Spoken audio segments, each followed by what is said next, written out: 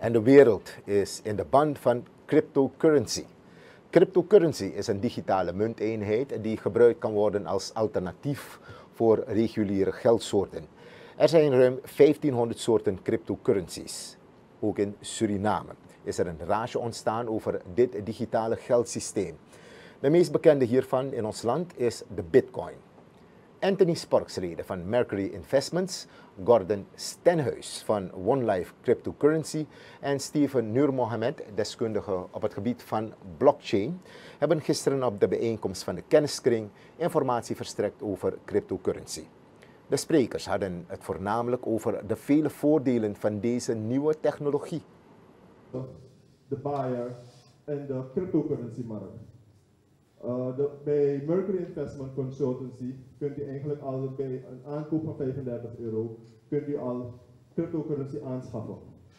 Mercury, zoals in de schema's aangegeven, fungeert Mercury echt als een dienstverlener. Dus een soort proxy server die ervoor zorgt dat u op de cryptocurrency markt kunt komen.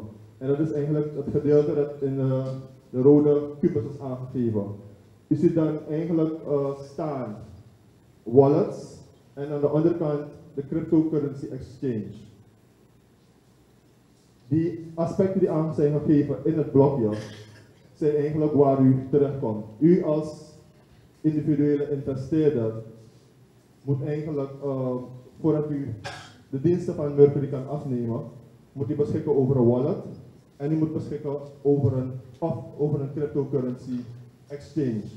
Een cryptocurrency die die daarop uh, winst en, en, en omzet wil maken, kan daar heel goed gebruik van maken.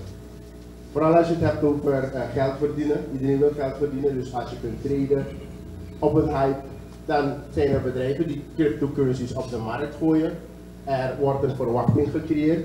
De markt reageert op die verwachting en gaat daarin investeren. Maar die verwachting kan een, een, een, een, een eigenlijk ook een, een inflated expectation zijn. Een, een, dat? Een, een, een opgeblaasde verwachting zijn. Nou, dat gaat met de meeste technologieën gaat dat zo, vooral wanneer die technologie nieuw is. Als ik van hier naar Azië geld moet versturen, moet ik hoge transactiekosten betalen en dat moet via een bank gaan. Klopt het? Dus stuur ik van hier een 100 euro naar iemand in Azië. Hoeveel zal hij krijgen? Ongeveer? Minder zelfs. Minder zelfs. Sporksleden Stenhuis en Nur Mohammed riepen de aanwezigen die in grote getallen waren opgekomen op niet achter te blijven, maar dit digitaal betaalverkeer uit te proberen. Na de presentatie ontstond er een levendige discussie.